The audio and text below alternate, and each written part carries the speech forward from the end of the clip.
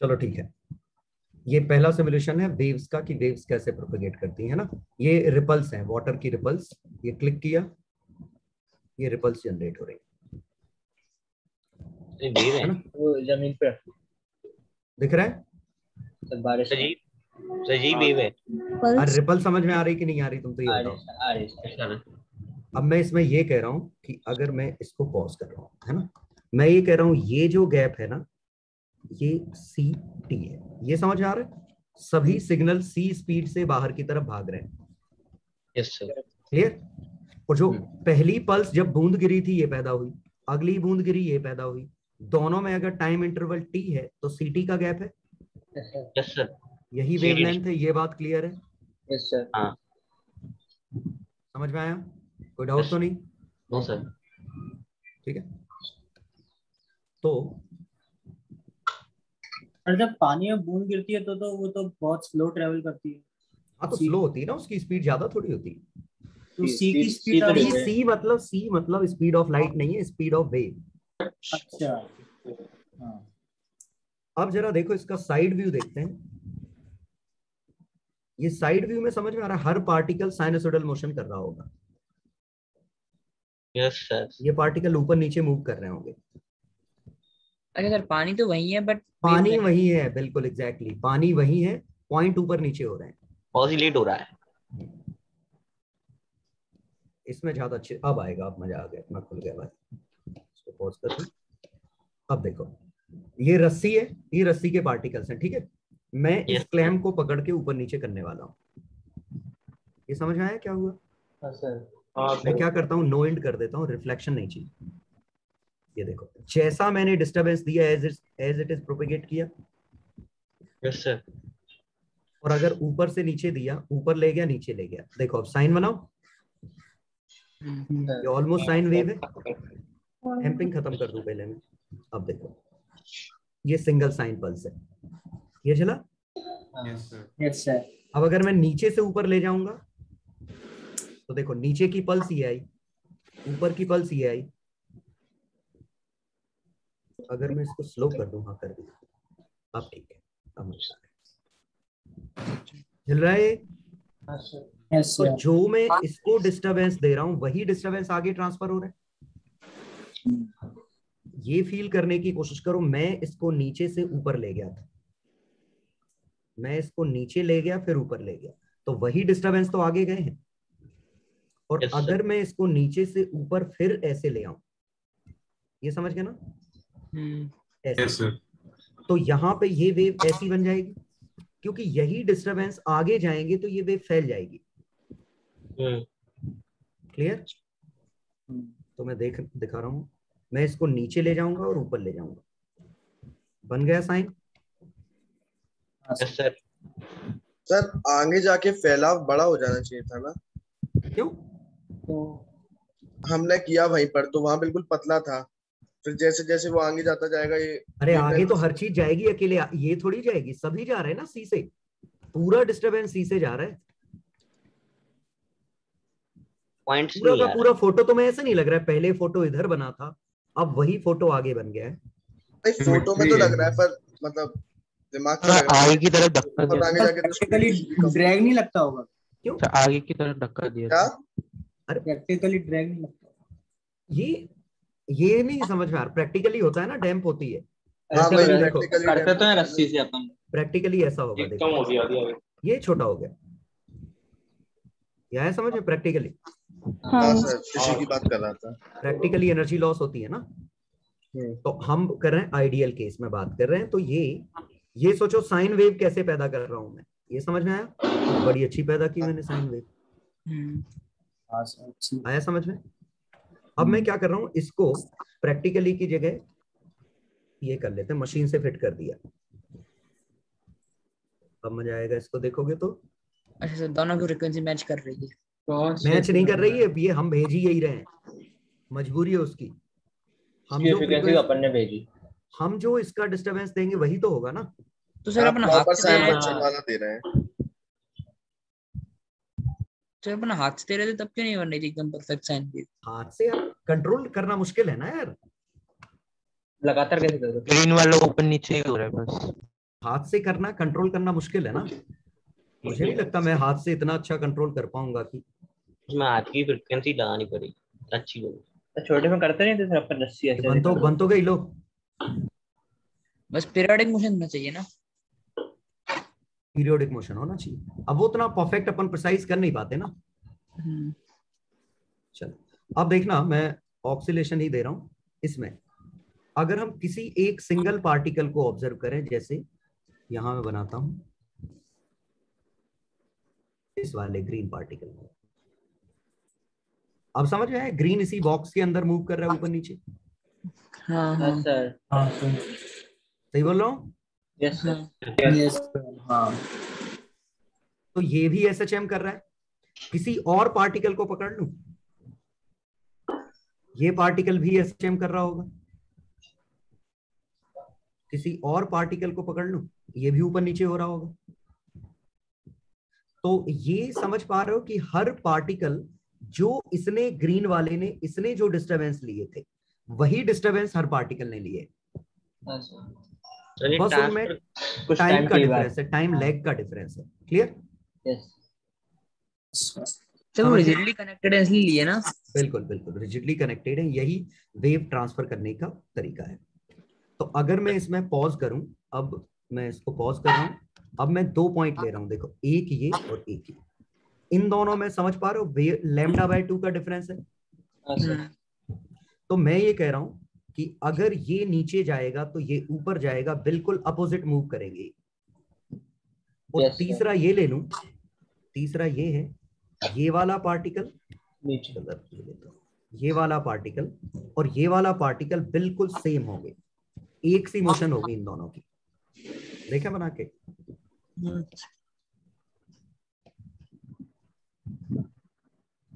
किसी भी इंस्टेंट पे दोनों सेम हाइट पे हैं।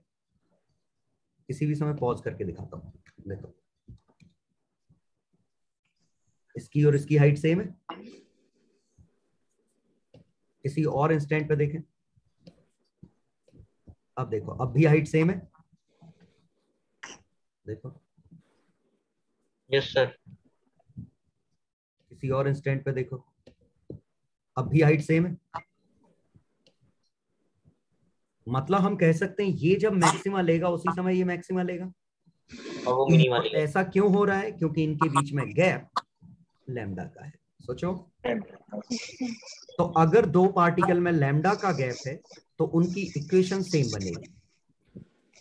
ये समझ में आया? हाँ सर क्योंकि सेम टाइम पे सेम हाइट आएगी। सेम टाइम पे सेम हाइट आएगी।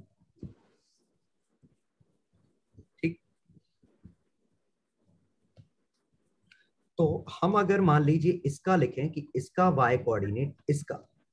y coordinate a sine omega t था प्लस फाइव था।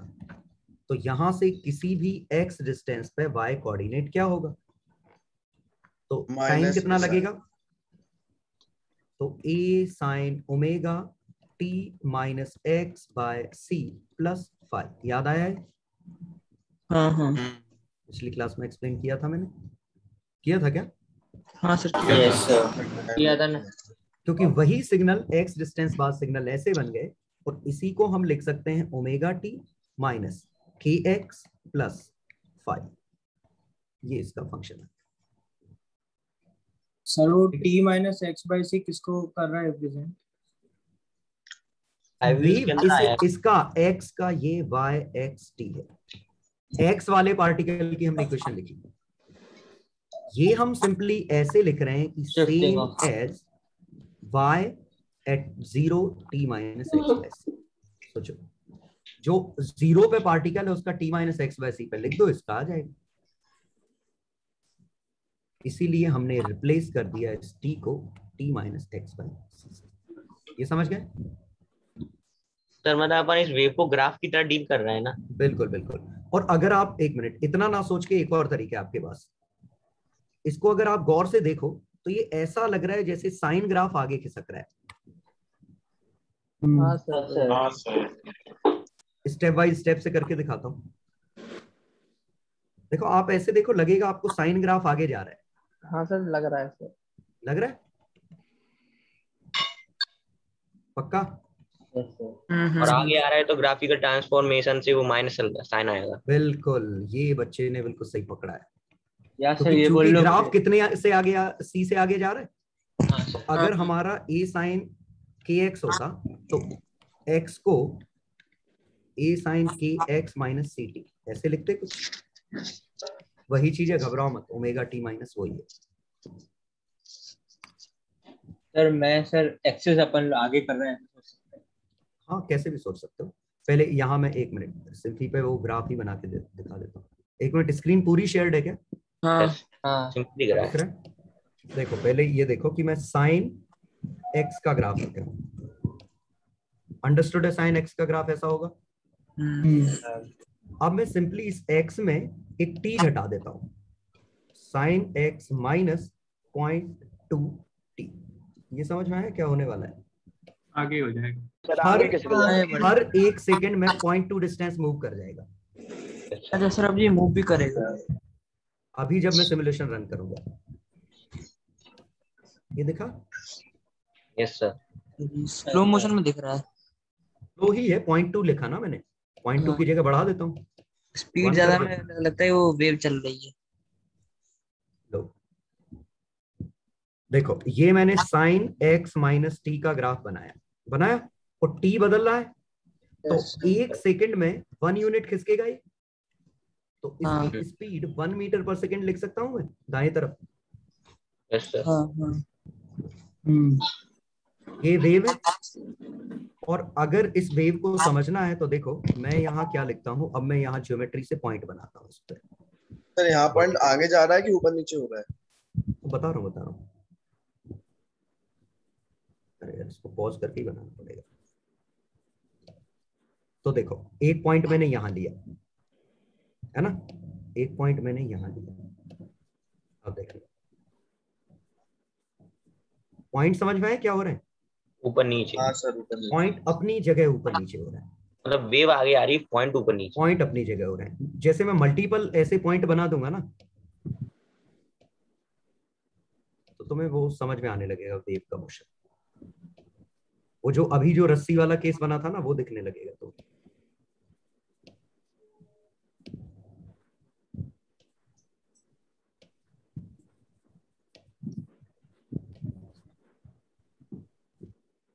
क्रिटिकल पॉइंट लेकर रहेगा तो हमेशा मैक्सिमम पे पॉइंट आ जाएगा। चलो, अब तुम्हें बिल्कुल वही दिखेगा जो हम दिखाना चाह रहे थे। हॉरिजॉन्टल लाइन एक्स एक्सिस वाली। चलो, अब देखना। इन सबका मोशन अब अगर मैं ये ग्राफ भी हाइड कर दूँ ना अब ये ग्राफ विजिबल है। इसको अगर मैं हाइड कर दूँ। अब इन पॉइंट की मोशन देखो। हम्म, लग रहा है ग्राफ आगे जाता हुआ हाँ सर। ये वेव है। दरअसल वो अपनी जगह मूव कर रहे हैं लेकिन डिफरेंस इनके फेजेस में। कोई मैक्सिमा कभी ले रहा है कोई मैक्सिमा कभी ले रहा है। तो फाइव वजह से इस पॉइंट के फाइव इन सभी पॉइंट के फाइव बदल रहे हैं।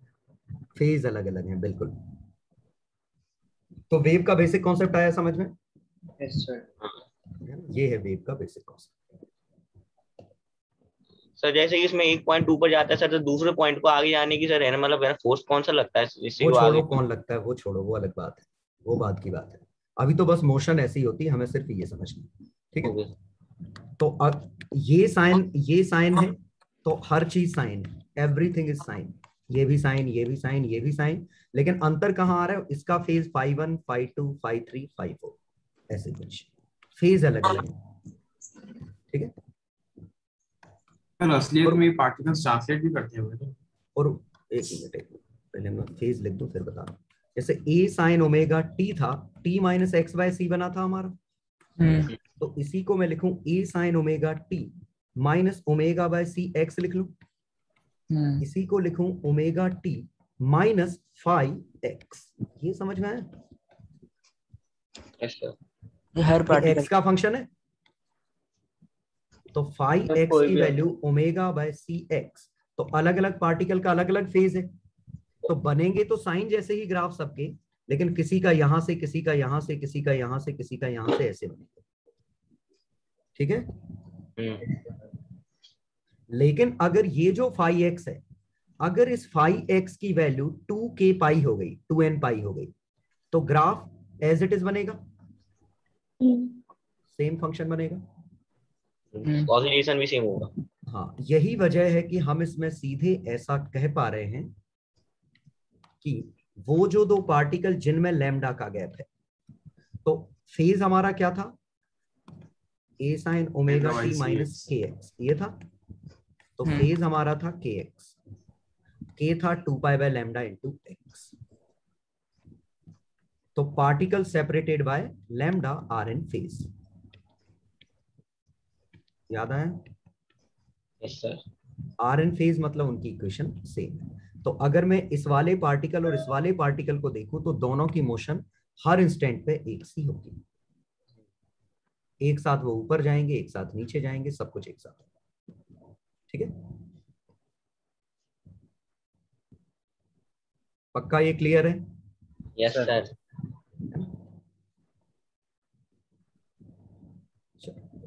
तो अरे ये जो टी टाइम था ये लेमडा कवर करने के लिए था ना? हाँ हाँ। मतलब तो ये तो lambda equal to c t common sense नहीं बना? नहीं सर हाँ वो तो देर में ये ऊपर नीचे आया उतनी देर में ये ग्राफ आगे खिसक गया। सी टी ये सोचो। मैच करो ये लाइन इससे मैच करो। तो सर जब हमने इसमें सी वाई एक्स किया था ना अपने माइनस तो हम्म। उससे हमें उसके करस्पॉन्डिंग पार्टिकल का टाइम मिलेगा ना? जो एक्स पे पार्टिकल है उसका मिलेगा। जो एक्स पे पार्टिकल है। हाँ, तो ये सर, इसमें अपने पार्टिकल साइनोसॉइडल मतलब ऑसिलेशन कर रहे हैं इसलिए कब भी साइनोसॉइडल बन रहा है। बिल्कुल। अगर यहाँ मैं ऑक्सीलेशन बदल दूँ ना जैसा यहाँ शेप होगा जैसे जैसे यहाँ मैं ट्रेंगुलर टाइप का लू। देखो ट्रेंगुलर टाइप का यहाँ मैं स्क्वायर टाइप का लू। देखो बना हाँ जैसे यहाँ नीचे वाला स्क्वायर लू। वही बना? हम्म। तो वो तो सोर्स की मर्ज़ी है माल क्या जनरेट होगा। ये जो जनरेट करेगा वही होती हो। तो मैंने कहा था एम्पलीट्यूड और फ्रीक्वेंसी इसकी प्रॉपर्टी है। सी इसकी प्रॉपर्टी याद आया? हम्म, ठीक है। चलो अगला आते हैं। इसमें इसको नेक्स्ट पार्ट का ये। तो देखो सिंगल रिपल जब जनरेट की थी तो कोई खास दिक्कत नहीं थी। सीधे सीधे समझ में आ रहा था ये रिपल्स ऐसी बन गई। इंटरेस्टिंग होगा जब हम दो रिपल पैदा करेंगे। एक रिपल ये एक रिपल पहली रिपल ठीक है कोई दिक्कत नहीं प्योर सर्कुलर है। दूसरी रिपल जब जनरेट की अब कुछ अजीब सा होने वाला होगा। इंटरफेरेंस हो रहा है ये कुछ अब देखो ये रिपल्स कुछ अजीब सी बन गई। इंटरफेरेंस और डिस्ट्रक्शन हाँ फ्रीक्वेंसी में बढ़ा दूँ।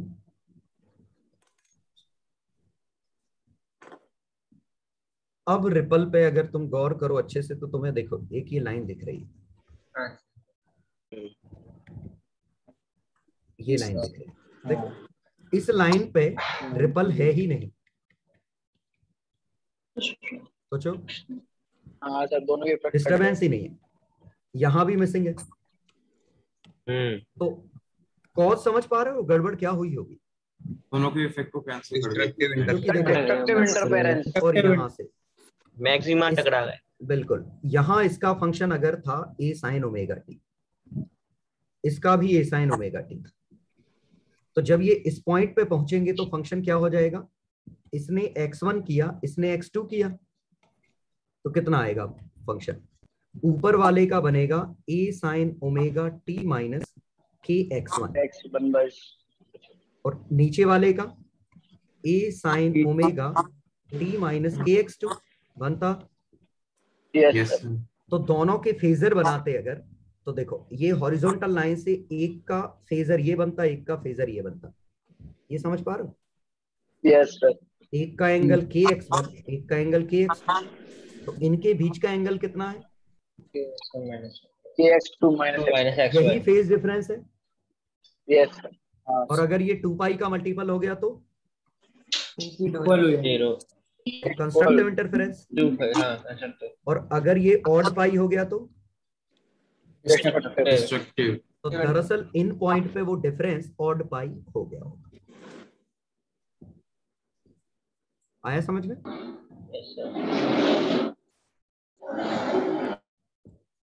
सभी पॉइंट पे हुआ होगा ना ऐसे। सर ग्राफ कैसे बन रहे हैं? ग्राफ दिखाता हूँ मैं कैसे बन रहा है। तो उसके लिए हमें आना पड़ेगा अगले को। इस पे आना पड़ेगा। ये अब ये रिपल्स फील आ रही है? दो रिपल्स हैं? हाँ। अब देखो मैं क्या लिख रहा हूँ? पहले मैं इस फ़ंक्शन पे दोनों के ग्राफ बना रहा हूँ। कहा? जहाँ डार्क है। तो ग्राफ देखो कैसे? राइट साइड ग्राफ दिख पा रहे हैं क्या? हाँ सर एग्जैक्टली exactly एक दूसरे को काट रहे होंगे। देखो यहाँ बनाता हूँ। देखो रफली काट रहे हैं। यस लेकिन अगर मैं यहाँ रखता हूँ इसी को तो यहाँ ये ग्राफ ऐड होंगे देखो। अरे ग्रीन वाला है। ग्रीन रिजल्टेंट है। अच्छा। ग्रीन रिजल्टेंट एम्पलीट्यूड और यहाँ अगर बनाऊँगा तो देखो ऐड हो रहे हैं। यहाँ डार्क वाले पे बनाऊँगा तो देखो कट रहे हैं। ठीक है? यस सर शायद रिपल से ज़्यादा अच्छे से यहाँ से दिखे ये क्योंकि थोड़ा थ्री है इससे हो सकता है ज़्यादा अच्छे से है। वही चीज़ ये भी। हाँ। पानी की रिपल। ये देखिए रिपल्स। यस सर ये बस वो थ्री में दिख जाएगा इसमें। तो यहाँ ये ग्राफ पे मैं व्हाइट पॉइंट मेरा कहीं होगा। इसको पॉइंट ब्लू कलर का ये। देखो ये ब्लू कलर का ये ऑक्सीलेट कर रहा है। अगर मैं इस ब्लू कलर के पॉइंट को इस पे रख देता हूँ मिनिमा वाले पे। तो यहाँ कहीं मिनिमा आ रहा है। अब देखते हैं। देखो, अगर देखो तो ब्लू कलर हिल ही नहीं रहा है ब्लू कलर वाला पॉइंट देखो।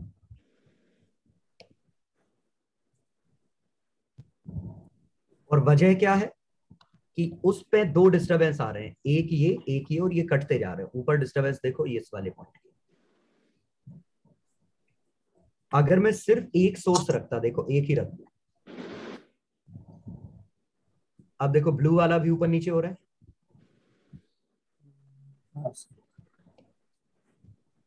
ये देखो शायद यहाँ से समझ में अब आ रहा है समझ में? हम्म। ऊपर नीचे हो रहा है ब्लू। ठीक है? और इसको हटा के दूसरा ये सोर्स चालू करूँ तब भी ऊपर नीचे हो रहा है। लेकिन अगर दोनों चालू कर दूँ तो देखो ये ऐसे पॉइंट पे है जहाँ डिस्टरबेंस है ही नहीं लगता सर्कल को ब्रेक कर रहे हो। अब देखो यहाँ से अगर तुम देखो तो ब्लू अपनी जगह लोकेटेड है देखो। तो वजह समझ में आई? इसने दो सिग्नल लिए हैं? एक इससे सिग्नल लिया एक इससे सिग्नल लिया। और दोनों सिग्नल इत्तेफाक से कट गए। आया इंटरफ्रेंस का लॉजिक यस सर और वाटर फ्लो में भी कटते हैं। हर उसमें हर वेव में ये कटेगा। चाहे वेव किसी भी तरह की क्यों ना हो। सर मिनिमा आपने ग्राफ से बोला था। ग्राफ से?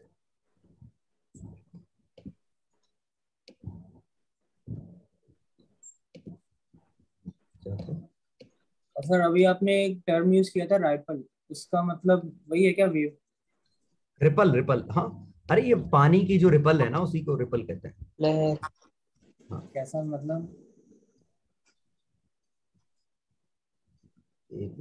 सर सी वेव में कुछ चीज़ें रहती हैं जैसे हमारी छोटी चीज़ बोतल वगैरह वो आगे चली जाती हैं वेव के साथ। पर मैंने कई बार नोटिस किया है कि जो नहीं नहीं वो वो एक अलग चीज़ है यार। अब वो बॉटल काफ़ी बड़ी है ना साइज़ नहीं तो वो तो आगे चली जाएगी मतलब वेव ऊपर हुई नीचे हुई। लेकिन जो बोट वगैरह रहती है ना वो एक ही जगह ऊपर नीचे होती रहती है। वो तो डिपेंड करता है रिपल की साइज़ के मुकाबले ऑब्जेक्ट की साइज़ कितनी है। ऑब्जेक्ट की साइज़ अगर छोटी है तो अपनी जगह ऊपर नीचे होगी नहीं तो धक्का भी लगेगा उस पर। तो तो तो। जाएगी। छोटी है तो थोड़ी ऊपर नीचे रहेगी। हाँ। ये देखो ये सबसे ये सबसे इंपॉर्टेंट पहले ये देख लो फिर। ये सबसे इंपॉर्टेंट सिमुलेशन ये तुम्हारा सोर्स S1 है ये सोर्स S2 है। है ना? दोनों साइन वेव पैदा कर रहे हैं। अभी सिमुलेशन रन करूँगा तो। तो ये साइन वेव आगे की तरफ़ जा रही है, ठीक है? इसकी स्पीड c1 से, c से, इसकी c से, ठीक है? अब यहाँ जो p पॉइंट पे दो दो वेव एक साथ मिल रही है, ठीक है? ये भूल जाओ अभी ये क्या है? ये वाले भूल जाओ जो ऊपर नीचे सिर्फ़ इसको देखो, जो ये बन रहा है, ये अभी मैंने जिसको सेलेक्ट किया ब्लू कलर से। ये इनका रिजल्टेंट है। ये फ़िलहाल रिजल्टेंट ऐसा बनना चाहिए था। दोनों वेव का रिजल्टेंट है। हाँ। Constructive yes sir yes sir देखो दोनों का मिनिमा एक साथ आ रहा है देखो। हाँ। दोनों का मिनिमा एक साथ पहुँच रहा है। यस सर मैक्सिमा भी एक साथ पहुँच रहा है। जुड़ रहा है। हम्म, तो ये कंस्ट्रक्टिव इंटरफेरेंस है। हम्म, और वैसे भी देखो ये लेंथ 3.59 3.59 बराबर है? सेवन हो गई वो। बराबर है तो बराबर चेंज आया होगा दोनों में। एक मिनट फॉन्ट और बढ़ा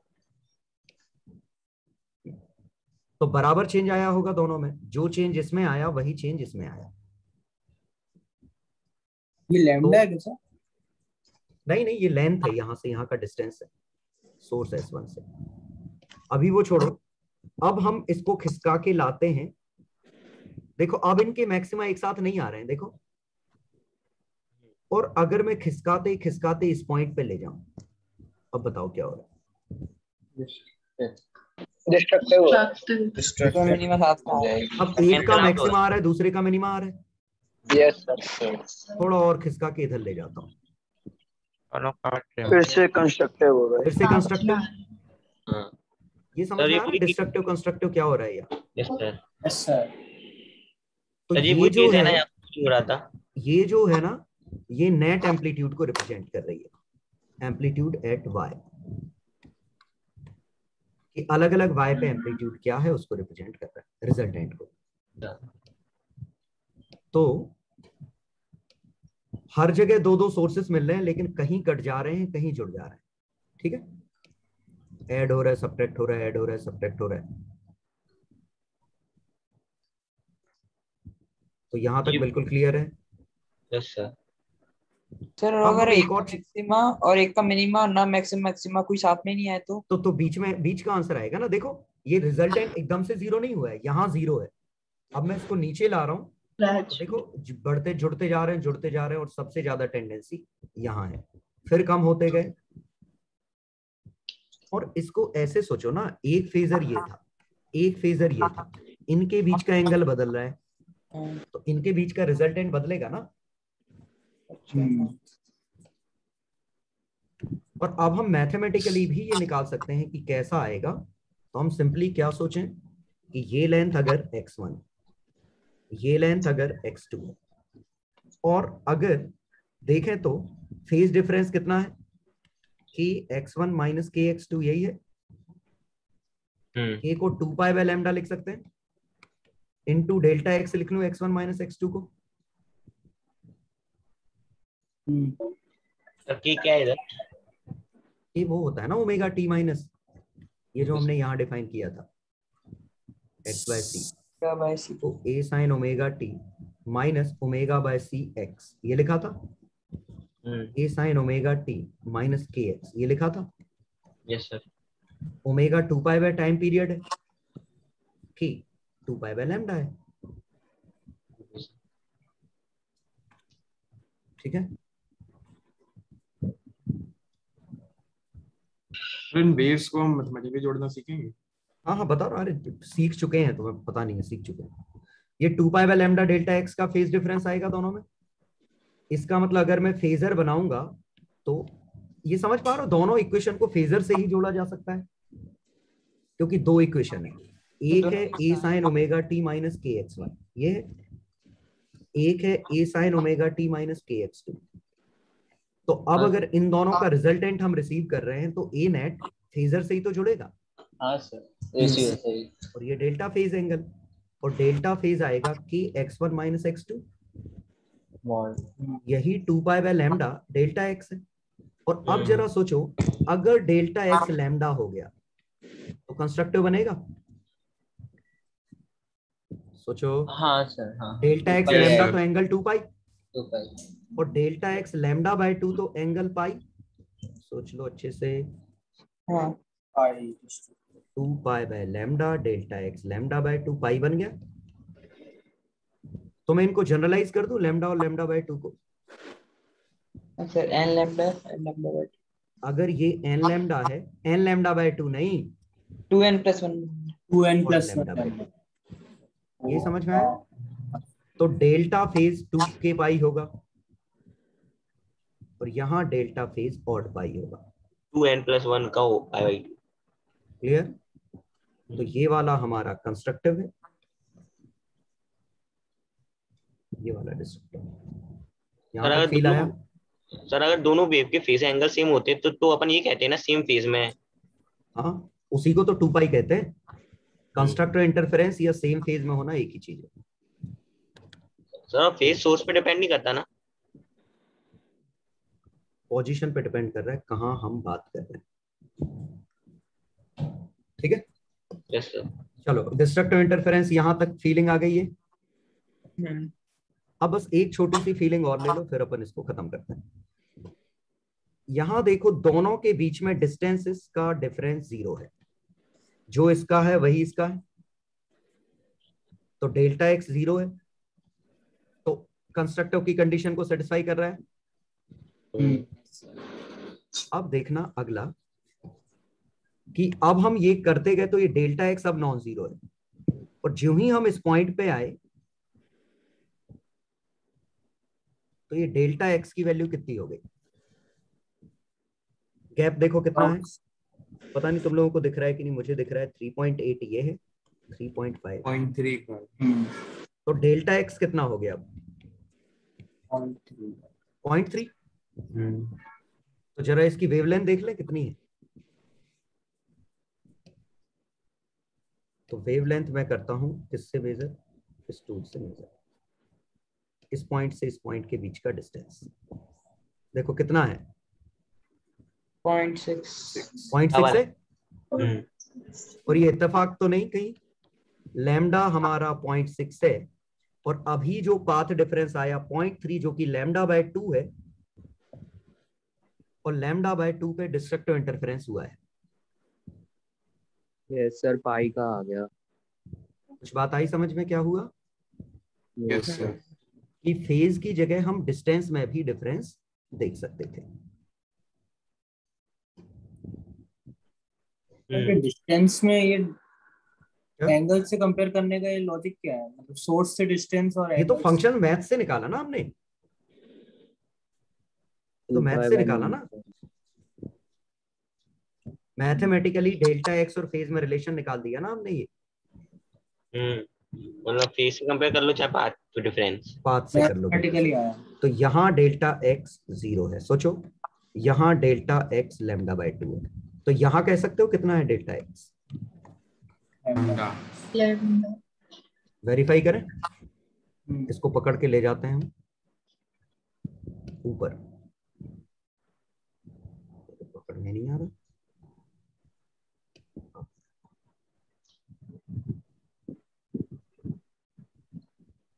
मैक्सिमा यहाँ कहीं गैप देखो कितना है इनका। डिस्टेंस 4.16 3.56 कितना आया? आया लैम्डा हाँ सर। हम्म तो शायद ये फील कर पा रहे हो कि क्या चल रहा है यहाँ पे? सर अगर कंस्ट्रक्टिव हाँ। सर अगर तो अलग अलग वेवलेंथ की वेव्स है तो? तो तो कुछ नहीं हो तो फिर मतलब ही नहीं होता। ये सब बनता ही नहीं क्योंकि फेजर ही काम नहीं करते फिर। अच्छा। कॉम्प्लेक्स सर हाँ हाँ। सर अगर ये वेव अलग अलग जगह से स्टार्ट होगी तो। तो अलग अलग जगह से ही तो स्टार्ट हो रही नहीं मतलब एक एक ही लाइन से नहीं मतलब उनका फाइव डिफरेंस उससे क्या फ़र्क पड़ता है? पाथ डिस्टेंस का डिफरेंस यही आएगा। इस डिफरेंस तो अपन दो उसके अंदर बीच में दिख रहे हैं ना दो पॉइंट के बीच हाँ, में उसका तो हम चेक ही नहीं कर रहे ना कितना है। तो अगला जो मिनिमा अगर ऊपर मिलता जो कि देखें कहाँ मिलेगा तो मुझे इसके लिए जूम आउट करना पड़ेगा रहने दो छोड़ो। लेकिन अगला मिनिमा समझ के कब आएगा? जब इनके बीच में delta x zero point three. Three lambda by two हो जाएगा हो गया ठीक है? चलो। तो अब ले लो तुम चाहो तो इसका स्क्रीनशॉट कंस्ट्रक्टर डिस्ट्रक्टर की मीनिंग समझ ले लिए ले लिया? यस बता दूँ?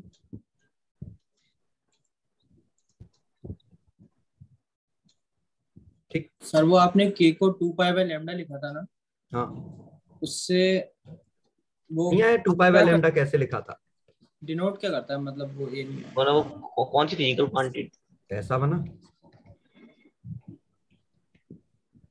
यहाँ तक ठीक है। ओमेगा की value two pi by t होती। है ये two pi by c t होगा। हाँ। इसी को टू पाई बाय लेमडा कह सकते हैं। उसी को मैंने नाम के दे दिया था। के इज़ कॉल्ड प्रोपिगेशन कांस्टेंट अच्छा। या एंगुलर वेव नंबर भी कहते हैं केमिस्ट्री में अगर याद हो तो। सर वैसे ही होना था वो। एंगुलर वेव नंबर सुना है? यस सर हाँ sir one upon lambda wave number होता है ये एंगुलर वेव नंबर होता है। तो बस लॉजिक सिंपली तुम ऐसे सोचो ना मैं तो ऐसे समझता हूँ सीधे। हर टाइम पीरियड टी में फ़ंक्शन रिपीट होगा हर लैम्डा पे फ़ंक्शन रिपीट होगा। इससे अंदाज लग जाता है कि क्या बनेगा। यस सर हाँ ये सर ये सही फीलिंग है। ठीक है?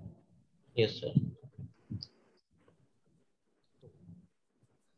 final conclusion waves का कि अगर एक सोर्स S1 ये है S2 ये है और किसी भी पॉइंट पे अगर कंस्ट्रक्टिव इंटरफेरेंस आपको दिख रहा है तो पक्का x2 और x1 का डिफरेंस कितना होगा?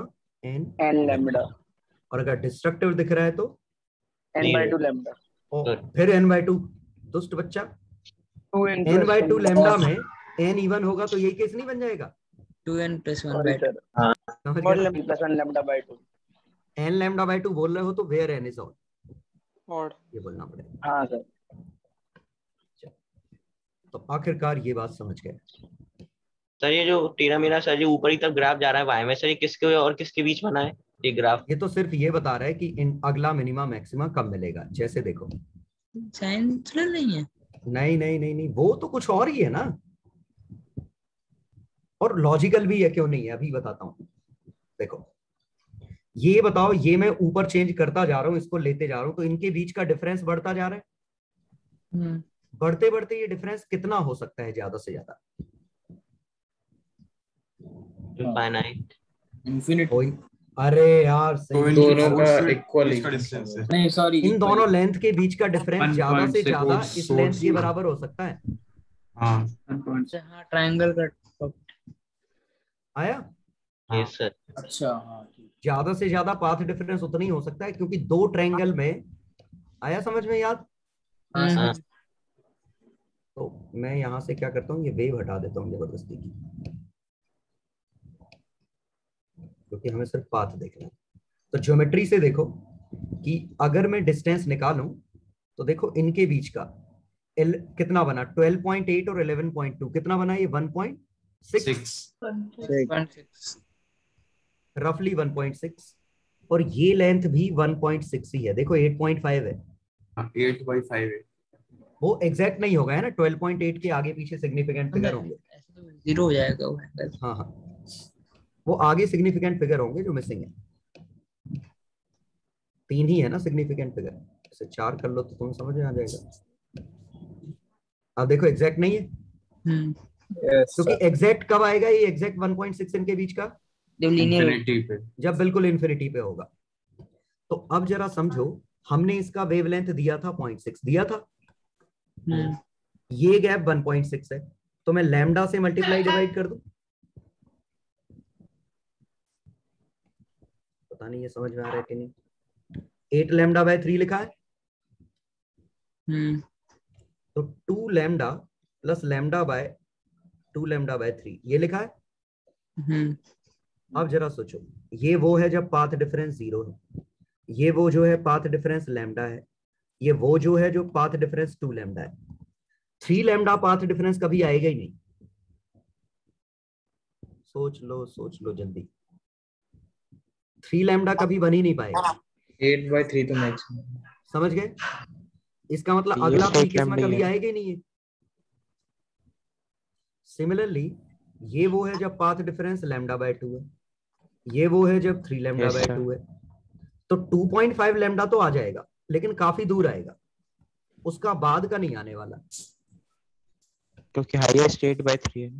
ठीक है? और इसको जूम आउट करूँ ना तो जूम आउट से देखो। इन्फिनिटी वाला तो कभी नहीं बनेगा। वर्टिकल एस एम टू 2.5 में फिर ये बढ़ेगा ही नहीं। 2.5 के बाद बढ़ेगा लेकिन मैक्सिमा नहीं ले पाएगा। तो कितने मैक्सिमा मिनिमा आएँगे ये तो इस पे डिपेंड करेगा ये गैप कितना है। ठीक है? तो चूँकि सोचो कि मैक्सिमा ही दो आने थे इन्फिनिटी लेंथ है तो यूनिफॉर्मली सेपरेटेड तो नहीं हो सकते वो। या समझ ये पॉइंट क्या बोला मैंने?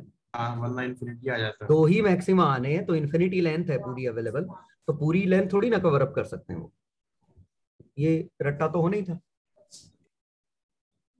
ठीक है? चलो एनीवे anyway, ये हम वेव्स के बेसिक फंडामेंटल समझे। इसका ज़्यादा यूज़ नहीं है हालाँकि उसमें लेकिन वेव ऑप्टिक्स में हम यूज़ करेंगे इस चीज़ को। पढ़ाने की वजह ये थी कि दरअसल ये एक्सपेरिमेंट जब लाइट के साथ किया गया ये जो सामने सिमुलेशन दिख रहा है ये लाइट के साथ एक्सपेरिमेंट है और काफ़ी हद तक सही सिमुलेशन है। यहाँ तुम्हें दिख रहा है इनके बीच में गैप्स हैं। एक मिनट रदरफोर्ड वाला है? नहीं नहीं ये तो मैं दिखा ये पतली पतली लाइन है। दो यस लाइन। सर तो ये दरअसल ऐसा है कि यहाँ पतली लाइन है यहाँ से लाइट फेंकी। तो कॉमन सेंस ये कहता है कि ज़्यादा से ज़्यादा दो लाइन आपको दिखेंगी। हाँ। लेकिन दो लाइन नहीं दिखती। दिखा कैसा जैसा ये पीछे बना है स्ट्रक्चर ये दिखा ये एक्चुअली ये दिखता है। आउटकम ऐसा है। री का ड्रॉबैक आ गया। पता नहीं ड्रॉबैक क्या चीज़ है लेकिन ये ऐसा बना। सर मतलब बहुत सारी फ्रिंजेस बन गई और अब वजह शायद समझ पा रहे होगे कि दो सोर्सेस थे। तो कहीं पे उन्होंने कंस्ट्रक्टिव किया फिर डिस्ट्रक्टिव फिर कंस्ट्रक्टिव फिर डिस्ट्रक्टिव फिर कंस्ट्रक्टिव तो इससे ये पता चला कि लाइट वाकई में वेव रही होगी क्योंकि ये Yes, वेव की प्रॉपर्टी फॉलो कर रही है। यस सर ठीक है? तो सर एक बार वो दोबारा दिखाएँगे? अभी जो कौन आपने ये यंग डबल स्लिट हाँ एक्सपेरिमेंट हाँ, वाला। हाँ देखो। इसमें डिवाइड कैसे हो गया? मतलब कहीं पर कंस्ट्रक्टिव कहीं पर डिस्ट्रक्टिव तो समझ आ रहा है। पर वो डिवाइड क्या? हुई अरे वो लाइन तो बना दी गई है वो। ये लाइन नहीं है ये कुछ नहीं है ये लाइन। ये लाइन कुछ नहीं है। तुम तो ये सीधे ये देखो कि आउटपुट ऐसा दिखेगा। मैक्सिमा को ज्वाइन कर दिया उससे। दिखेगा ऐसा आउटपुट। बीच बीच में डिस्ट्रक्टिव इंटरफेरेंस हो गया है। हाँ हाँ। लेंथ बढ़ती आ रही है उसकी। हाँ एक मिनट। क्या नाम है उसका? रिपल मैं पहले वो रिपल का बताऊँ कि डेली लाइट में बिल्कुल सही है। ये यूट्यूब पे वीडियो बनाया भाई ने। अरे बहुत अच्छी वीडियो रहा है। हम्म बहुत अच्छे बनाता है। पूल में वॉलीबॉल डाल दी थी तो देखा साइकिल ये देखो अभी रन होगा तब तो दिखेगा।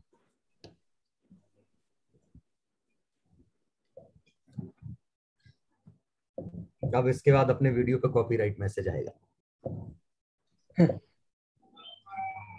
हाँ देखो एक सिंगल रिपल ऐसे दिख रही है। हाँ।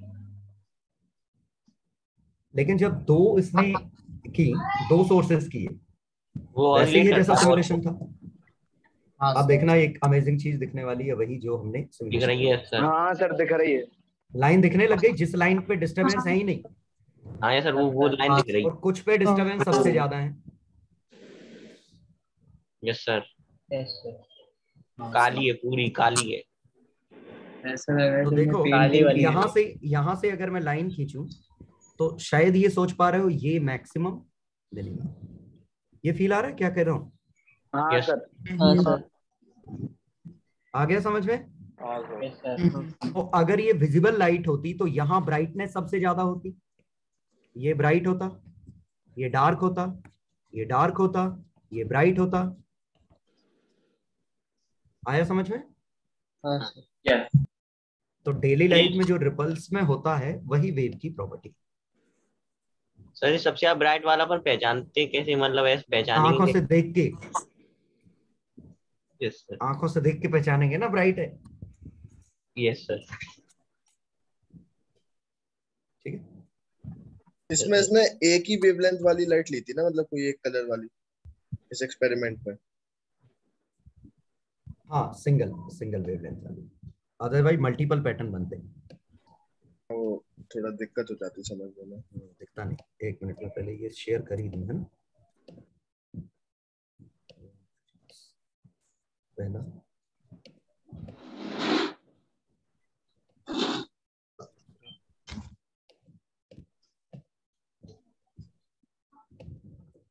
तीसरा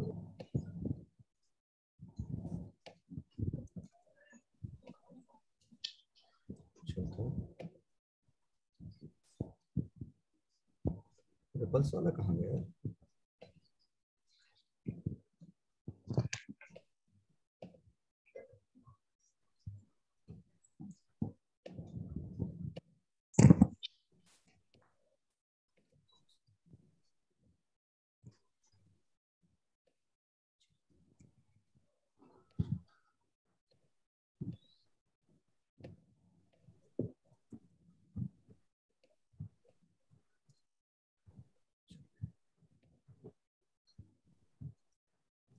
सेम है।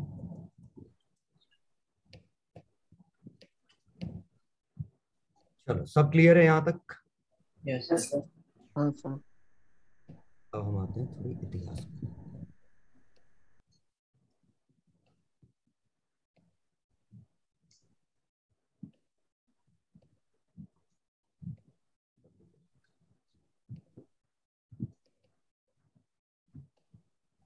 तो अब हुआ क्या था? सबसे पहले थी particle theory particle theory of light मैं बोल दूँगा जी अगर स्क्रीनशॉट लेना हो। वैसे ये सब कहानियाँ हैं ये सब पूछा नहीं जाएगा। ये 1967 में बाय न्यूटन इन्होंने कहा था। सर जी, 19 बताइए। नहीं 16 16 16 रे। 1667 या 72 मुझे एग्जैक्ट याद नहीं। 1660 के आसपास है है ना? तो इसके समय न्यूटन ने पार्टिकल थ्योरी दी थी और पार्टिकल थ्योरी के हिसाब से light made of made of tiny elastic particles ये कहा इतने छोटे पार्टिकल्स हैं कि हमें इंटरेक्शन करने पे फोर्स फोर्स ज़्यादा नहीं लगा सकते। मतलब निग्लिजिबल होता है उनका फोर्स निग्लिजिबल होता है। मास स्पीड एक्सट्रीमली लार्ज होती है। लार्ज स्पीड है ना? तो इन्होंने कहा कि रिफ्लेक्शन कैसे होता है? पार्टिकल आए ई की वैल्यू वन है रिफ्लेक्शन हो गया। हम जानते हैं कि रिफ्लेक्शन में थीटा बराबर होते हैं दोनों।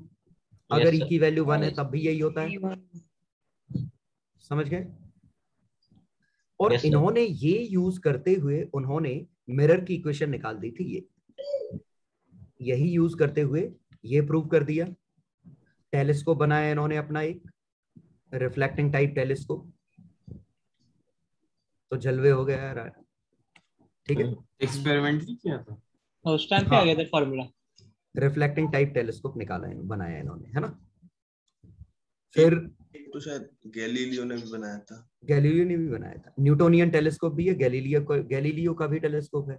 बहुत चार पाँच लोगों ने बनाया सबने बनाए थे अपने अपने। चलो। सेकंड इन्होंने रिफ्रैक्शन पूछा भाई रिफ्रैक्शन कैसे होता है? तो उन्होंने कहा रिफ्रैक्शन ऐसा होता है इन पार्टिकल को मैटर अट्रैक्ट करता होगा। कि जो पार्टिकल आ रहे हैं वो मैटर अट्रैक्ट कर देता होगा इसीलिए अंदर आ गए। सर लेकिन एक ही साइड तो नहीं अटैक करता होगा वो तो। हाँ हाँ बहुत सारे लूप होल थे इस वाले में।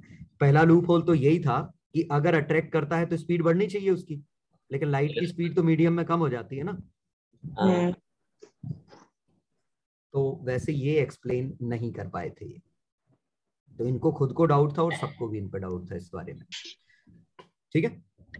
लेकिन ये बाकी सब चीज़ों को एक्सप्लेन कर पा रहे थे कि रिफ्लेक्शन और पार्टिकल क्या है, उस समय ही एटम की खोज हो रही थी। तो पार्ट ये थ्योरी दुनिया में चली आ रही थी कि everything is made of particles तो इसीलिए ये थ्योरी तब तक मान ली गई जब तक कि इसको कोई गलत प्रूव ना कर दे। लेकिन साइमल्टेनियसली वेव थ्योरी एक ह्यूजन साइंटिस्ट थे। ये सर इन्होंने साइमल्टेनियसली वेव थ्योरी दे रखी थी ये भी 1672 के आसपास ही था। इन्होंने कहा था नई लाइट वेव है। सरप्राइजिंगली इन्होंने रिफ्लेक्शन और रिफ्रैक्शन दोनों वेव से प्रूव कर दिए थे। दोनों प्रूव कर दिए थे। कहा कि लाइट को अगर हम वेव माने तो रिफ्लेक्शन और स्नेल्स लॉ ऑफ़ रिफ्लेक्शन दोनों प्रूव कर दिए थे। लेकिन फिर भी इनकी बात को उतनी तवज्जो नहीं दी गई। वजह क्या थी कि एक बहुत बड़ा क्वेश्चन अगर लाइट वेव है तो वेव तो फैलती है। तो फिर ये वेव लाइट क्यों नहीं फैल रही है? लाइट तो स्ट्रेट लाइन में जाती हुई फील होती है। और स्ट्रेट लाइन में जाते हुए फील होना ही पार्टिकल थ्योरी को सपोर्ट था मेनली तो हाइगन से ये कहा कि जैसा साउंड हम बोलते हैं, पूरे सराउंडिंग में फैल जाता है। तो लाइट पे हमने किया तो लाइट क्यों नहीं फैल जाती ऐसे? जैसे समझ गए ना? हाँ हाँ। लाइट तो जनरली स्ट्रेट लाइन में मूव करती हुई दिखती है। तो उनका मुझे क्या पता? फिर एक और बात एक और समस्या इससे बड़ी। मान लो लाइट वेव है तो एवरी वेव नीड्स मीडियम उन्होंने कहा वेव को हाँ, मीडियम की ज़रूरत पड़ती है। क्यों? उस समय वेव कौन कौन सी डेली लाइफ में थी? साउंड वेव थी रस्सी वाली वेव थी और वाटर रिपल्स थी ये सभी वेव थी। तो वेव को मीडियम की ज़रूरत पड़ती है। तो इनसे पूछा वो मीडियम क्या है? सन और इसके बीच में तो वैक्यूम है। तो इन्होंने कहा कि एक हाइपोथेटिकल मीडियम है ईथर एक ऐसा मीडियम है जो पूरी दुनिया में एग्जिस्ट कर रहा है। लेकिन ये लोगों को पचा नहीं कि इन्होंने कहा ये वहाँ भी एग्जिस्ट कर रहा है जहाँ कुछ नहीं एग्जिस्ट कर रहा है। वैक्यूम में भी एग्जिस्ट कर रहा है। हाँ इन्होंने कहा वैक्यूम में भी ईथर है। जो किसी के साथ इंटरेक्ट नहीं करता वो सिर्फ़ लाइट को मूव कराने का काम करता है। तो ये चीज़ लोग इस पे कन्विंस नहीं हो पाए इस बात से। और उससे भी बड़ी बात कोई एक्सपेरिमेंटल एविडेंस नहीं था। ईथर का भी नहीं था और वेव के होने का भी नहीं था। और उससे भी एक और इम्पोर्टेंट फैक्टर था न्यूटन की बहुत ही ज़्यादा चलती थी उस समय। तो कोई Yes, न्यूटन को अपोज नहीं कर पा रहा था। यस सर तो न्यूटन की प्रेस्टीज इतनी थी तो इस वजह से हाइगन को शांत कर दिया कि तुम चुप हर रहो चीज़ की स्टार्टिंग न्यूटन नहीं करी है क्या? हर चीज़ की स्टार्टिंग न्यूटन नहीं करी है। नहीं। नहीं ऐसा ज़रूरी नहीं ऐसा थोड़ी है न्यूटन ने अकेले ढूंढ लिया था सब। ऐसे स्टार्टिंग मतलब जैसे वो इलेक्ट्रोस्टैटिक्स में भी फॉर्मूला भी। नहीं नहीं। अपोलो एरिस्टोटल वगैरह ये सब बता चुके थे। अब सबने सबने कंट्रीब्यूट किया था न्यू देखो क्या था सभी मेहनत कर रहे थे न्यूटन कुछ ज़्यादा जीनियस थे। इन्होंने सबकी चीज़ों को कलेक्ट करके कंक्लूजन निकालना चालू कर दिए। मैथमेटिकल किया है सबको।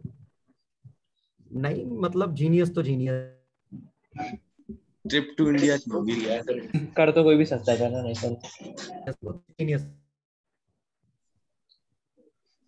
सर वाटर की वेव सर वाटर की वेव और न्यूटन ने न्यूटन के समय तीन साल फ्लू लू हो गया था कुछ हो गया था। तो तीन चार साल कॉलेज तो लैग कर रही है आपकी आवाज़। आपकी आवाज़ हैं। कट गई इसमें हाँ नेट मेरा अब आ गया वापस आ गया वापस आ गया।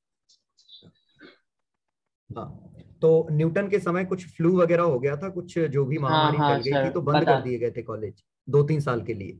वो फैला सर क्या नाम है? चिकन स्मॉल पॉक्स जो भी फैला था तो न्यूटन जैसी ब्रेन को अगर तीन चार साल फ्री मिल जाए कि कुछ ही नहीं करना आपको हाँ। उन्होंने उसी दौरान गत कर दी सब ढूंढ डाला। हमारा। सुनी थी मैंने कहानी वो कमरे बंद हो गए थे दो साल के लिए हाँ, लगातार हमें हमें। मिलता है तो हम पबजी खेलना चालू कर देते पूरा खेल लेते हैं और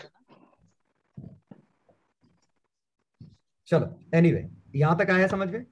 यस सर तो ये कहानी थी तो इन्होंने वेव थ्योरी उस समय इनको कन्विंसिंग लग रहा था कुछ इन्होंने लॉजिक कन्विंसिंग दिए थे लेकिन खासकर सबसे बड़ा मुद्दा ये था कि लाइट स्ट्रेट लाइन में फिर क्यों मूव करती है? तो इसका आंसर नहीं दे पाए थे। ठीक है? लेकिन अब अगली घटना घटने वाली थी 1880 में। कुछ 1800 के करीब 80 तो नहीं। अराउंड 1800 यंग ने थॉमस यंग इन्होंने एक डबल स्लिट एक्सपेरिमेंट किया और ठीक वही जो मैंने अभी कुछ देर पहले दिखाया था।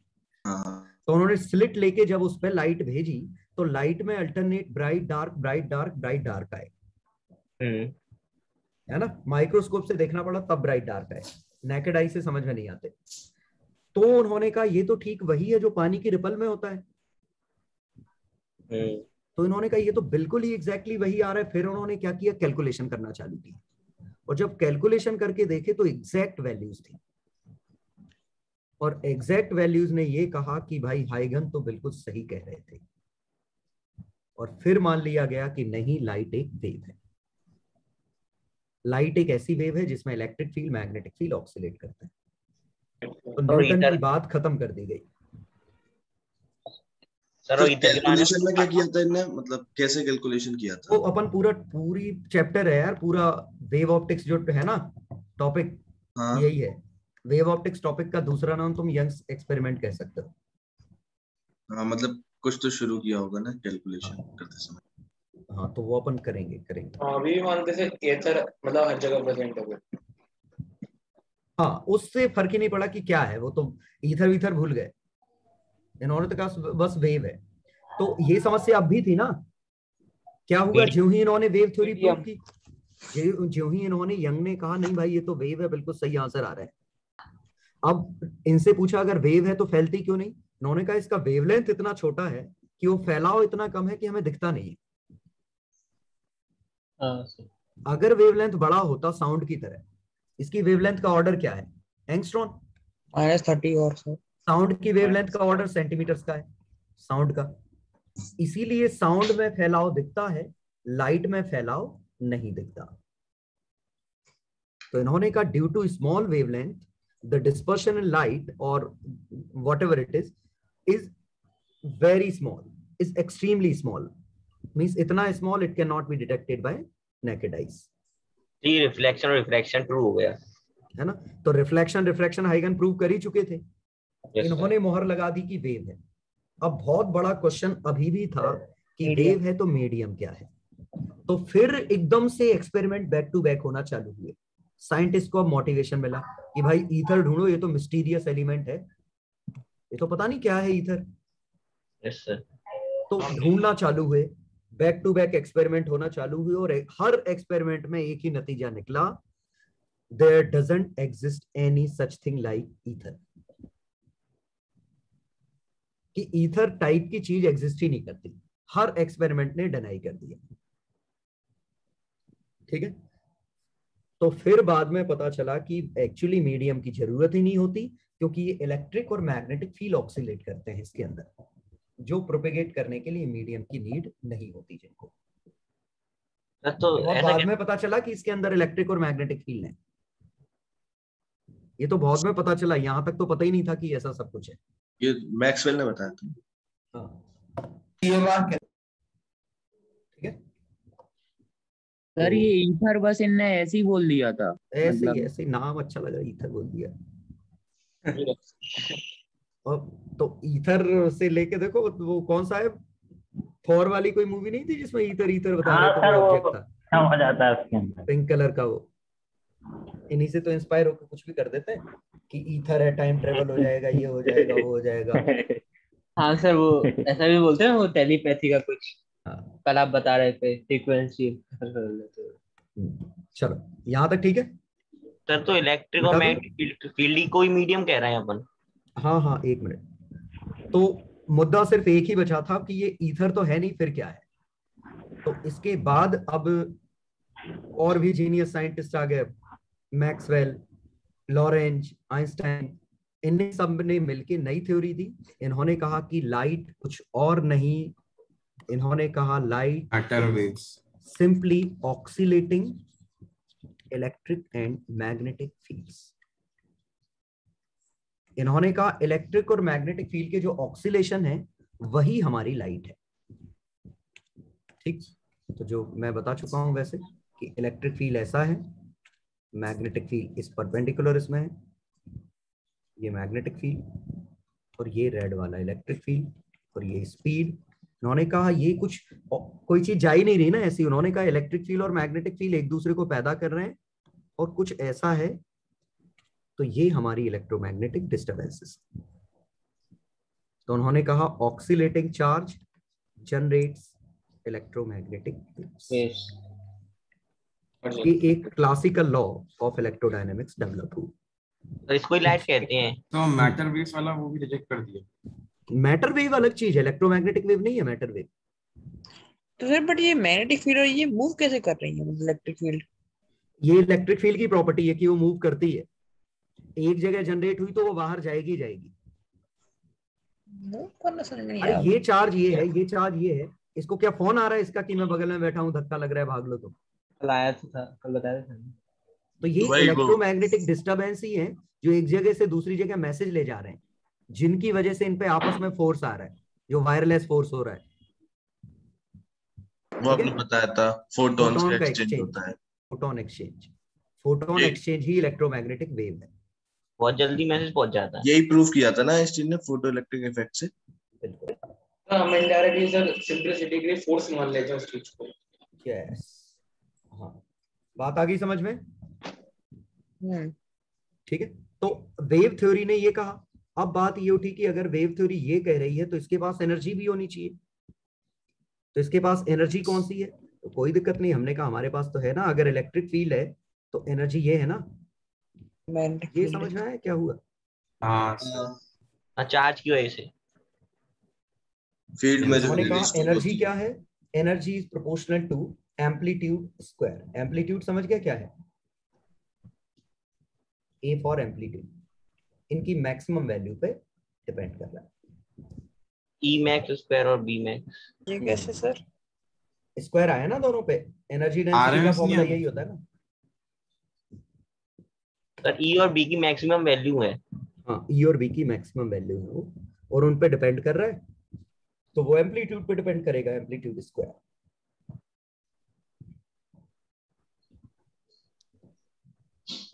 बस तुम्हें क्या याद रखना है इसमें? एक ही चीज़ कि energy is proportional to amplitude square energy और इंटेंसिटी जो भी आप लिखो एम्पलीट्यूड स्क्वायर पे डिपेंड एम्पलीट्यूड जितना बड़ा एनर्जी उतनी बड़ी एम्पलीट्यूड डबल करोगे एनर्जी चार गुनी हो जाएगी। सर इंटेंसिटी मतलब एनर्जी पर वॉल्यूम एनर्जी पर एरिया होता है इंटेंसिटी ओके करिए लिखना है क्या?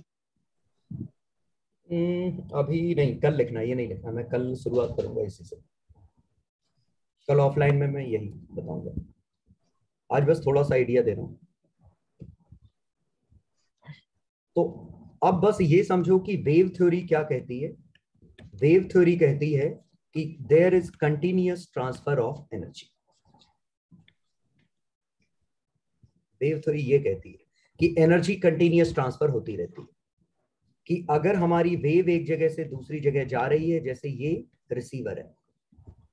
तो ये वेव एब्जॉर्ब कर रहा है तो it is receiving energy continuously बात समझ में? यस ये लगातार एनर्जी रिसीव कर रहा है क्योंकि लगातार इस पर वेव गिर रही है। ठीक है? लेकिन इसी बात को डिफाई किया फ़ोटो इलेक्ट्रिक इफ़ेक्ट में लफड़ा यही हो गया कि जब फ़ोटो इलेक्ट्रिक इफ़ेक्ट की स्टडी की गई तो ये कंटिन्यूअस एनर्जी ट्रांसफ़र वाला रायता फैल गया। बिना फोर्स के एनर्जी खींच जा रही है। नहीं फोर्स वाली बात नहीं है। बता रहा हूँ नहीं मतलब एनर्जी जादू से तो नहीं जा सकती। कुछ तो होना चाहिए। नहीं तो वो तो जा रही है। जाने का तो लफड़ा खत्म हो गया ना कि मीडियम की ज़रूरत ही नहीं ना कोई मैकेनिकल वेव थोड़ी है। अच्छा मैकेनिकल ये कहा पार्टिकल है ही नहीं ना ये पार्टिकल थोड़ी ना ऑक्सीलेट कर रहे हैं जो पहले ये था कि हाँ जा रही है लेकिन ट्रांसफ़र कैसे है। होगी? पहले था पार्टिकल हैं तभी मीडियम तभी वेव मूव करेगी। तो इन्होंने कहा कि ये पार्टिकल है ही नहीं है ये तो फ़ील्ड है। ये फ़ील्ड ऑक्सीलेट कर रही है पार्टिकल ऑक्सीलेट नहीं कर रहे हैं। अच्छा तो अभी अपन जो पॉइंट देख रहे थे ऊपर नीचे वो वो वो चीज़ नहीं है वो फ़ील्ड अब ये फ़ील्ड है इलेक्ट्रिक फ़ील्ड की वैल्यूज़ है। अच्छा।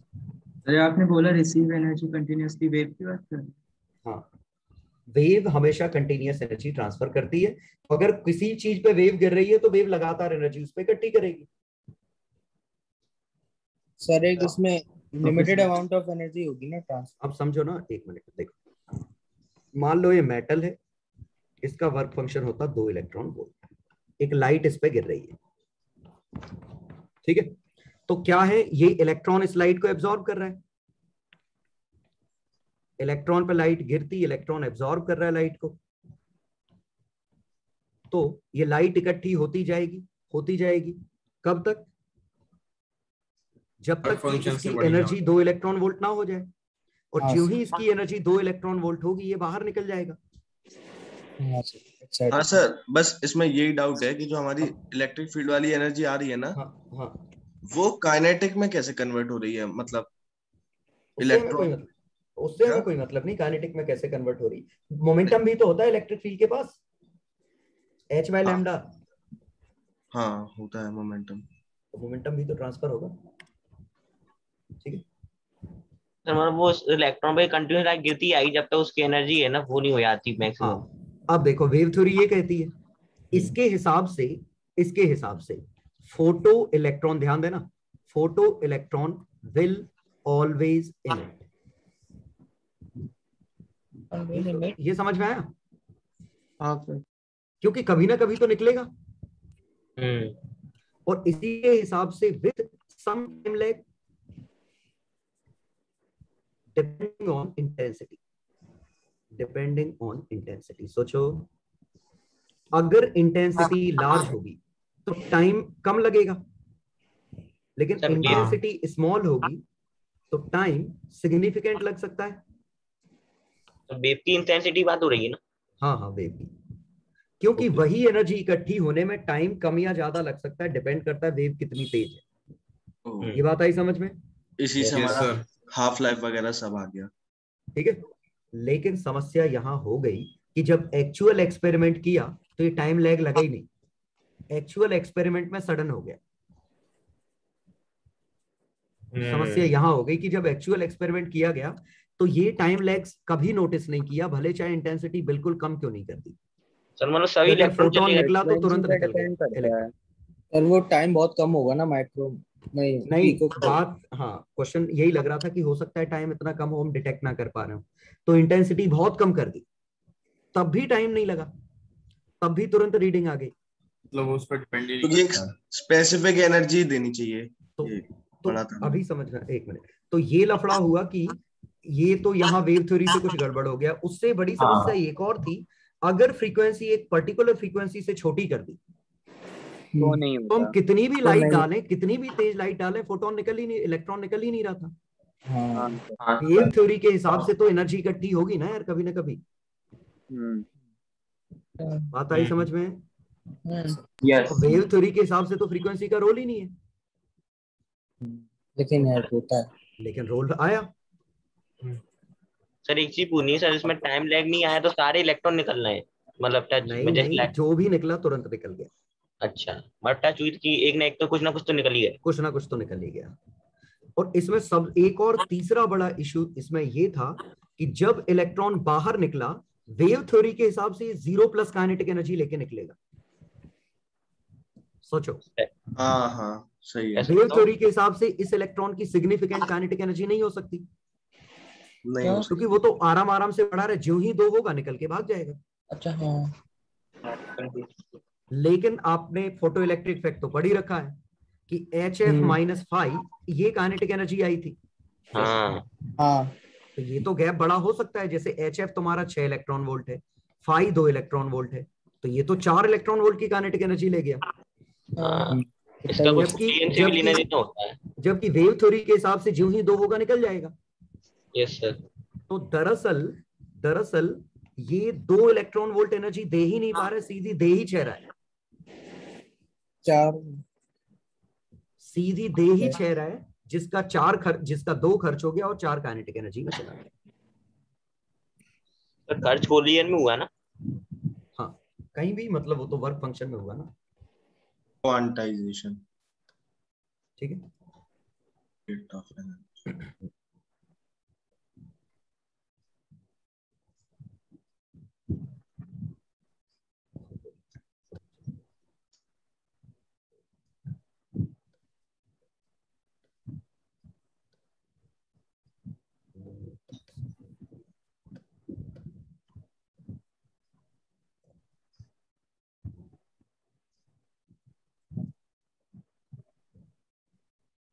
चलो। हाँ ये सिमुलेशन दिख रहा है?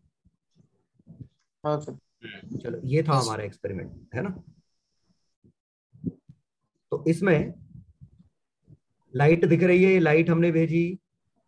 पार्टिकल बाहर निकल रहे हैं। यस सर यस सर है ना? अब हम क्या करते हैं इसकी इंटेंसिटी कम करके देखते हैं। तो इंटेंसिटी कम करी देखो कम फोटोन गिर रहे हैं। यह है समझ में? हाँ। इंटेंसिटी कम करी कम फोटोन कम फोटोन गिर रहे हैं तो कम इलेक्ट्रॉन निकल रहे हैं। हम्म। इंटेंसिटी बढ़ाई ज़्यादा फोटोन निकले ज़्यादा इलेक्ट्रॉन निकले ज़्यादा इलेक्ट्रॉन निकले। सर सर इंटेंसिटी ज़्यादा मतलब है ना उस जो उस मेटल की प्लेट का एरिया है उस पे है ना ज़्यादा एनर्जी इकट्ठी हो रही है एक बार। हाँ ये लाइट देखो ना लाइट कैसी है? लाइट ज़्यादा डार्क हो गई ना। देखो ये लाइट देखो धुंधली हो गई। अच्छा, लाइट कम थी लाइट तेज गिर रही है। हाँ। आया Yes, समझ में? यस तो इससे ये तो समझ में आ रहा है अगर तुम रीडिंग देखो ना इस एमीटर की 1.03 एम्पियर है देखना। अभी। रीडिंग ज़ीरो पे ज़ीरो है है? हाँ।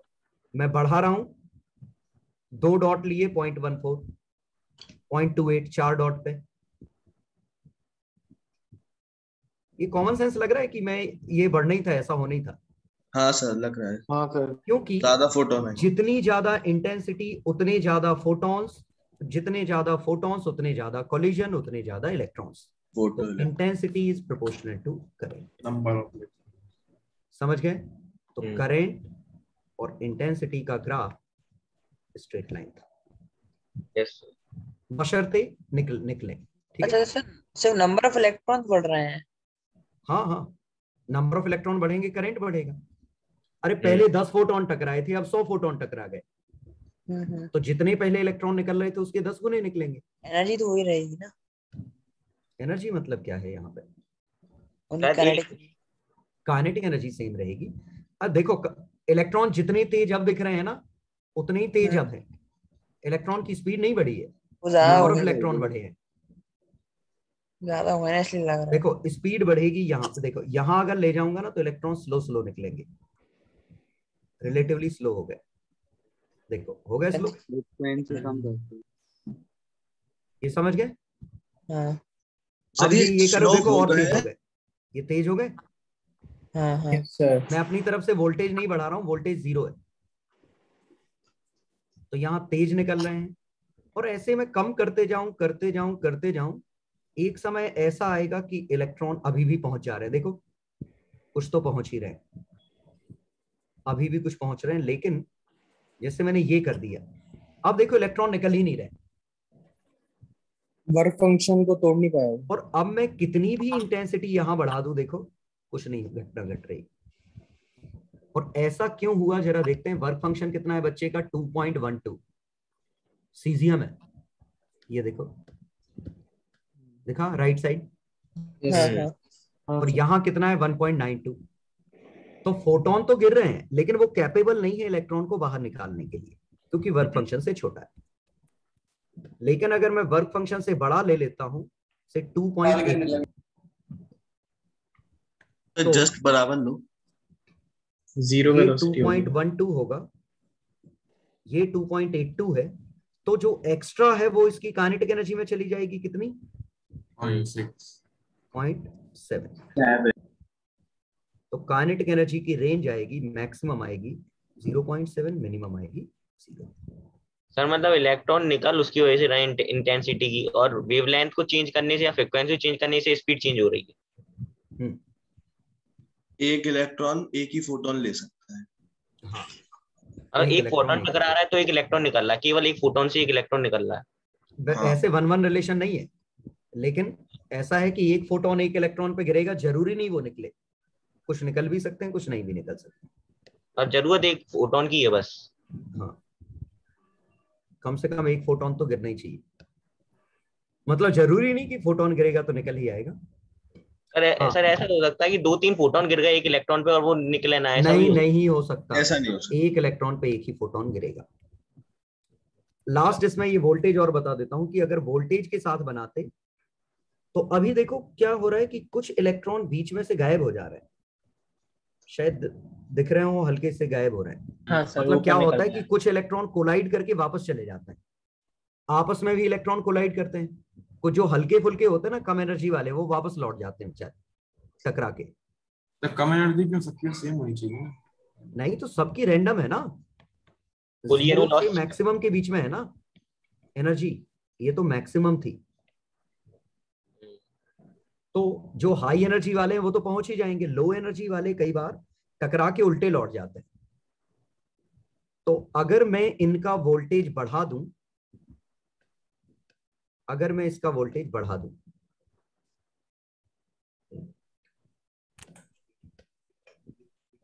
वोल्टेज कहाँ है? ये। अगर मैं वोल्टेज बढ़ा दूँ तो देखो इलेक्ट्रॉन तेज हो गए। दिख रहा है? तेज हो गए। इलेक्ट्रिक फ़ील्ड जनरेट हो गया। वोल्टेज कम कर दूँ तो इलेक्ट्रॉन स्लो हो गए। और क्यों अगर मैं कम करते करते इस वोल्टेज को नेगेटिव लगा दूँ तो और गत हो गई उनकी। अंदर ही खुलता है कैसे देखो? वोल्टेज पे क्यों डिपेंड कर रहे हैं? अभी पता चल जाएगा ना। फोर्स लग रहा पहले है ये वोल्टेज की तुम पोलैरिटी देखो कैसी। बैटरी की पोलैरिटी इलेक्ट्रिक फ़ील्ड इधर है। ये नेगेटिव चार्ज है तो धक्का किधर लगेगा फोर्स पीछे। इलेक्ट्रॉन को रोक रहे हैं? हम्म। लेकिन सब नहीं रुक पा रहे हैं। देखो कुछ तो पहुँच रहे हैं। भी काइनेटिक बहुत ज़्यादा है। कुछ पहुँच रहे हैं? हाँ सर लेकिन मैक्सिमम एब्जॉर्ब हो जा रहे हैं। हम्म। अब जरा हम देखते हैं। एक मिनट इसका 3.71 है। वर्क फ़ंक्शन 2.12 है। तो काइनेटिक एनर्जी मैक्सिमम है 1.5 के करीबन। है हाँ। लेकिन ये रोकने वाला वन इलेक्ट्रॉन वोल्ट है। तो ये ज़ीरो से वन काइनेटिक एनर्जी वालों को रोक देगा। सोचो। हम्म। ये रिवर्स बैक हो जाएँगे। ये समझ में आया? लेकिन वन से बड़े वन से बड़े क्रॉस कर जाएँगे। तो समझ में आ रहा है जो क्रॉस कर जा रहे हैं वो कौन से?